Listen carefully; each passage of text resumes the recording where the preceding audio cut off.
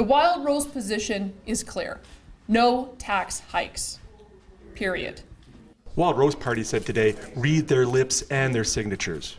There will be no tax hikes for Albertans if they're elected. We believe Albertans are taxed enough. Albertans have told us they don't want higher taxes. Albertans want a government that will make their budget work with the money that they've got, a government that will live within its means. Party leader Danielle Smith is rejecting Tory calls for at least discussing the level of tax rates in Alberta.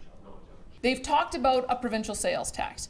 They've talked about increasing sin taxes. They've talked about bringing back healthcare premiums. And now they're talking about revisiting and reviewing income taxes. They say we need to have a conversation about taxes.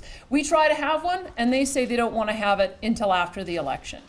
While some say the province needs to demand more revenue from the energy sector, Smith rejects that.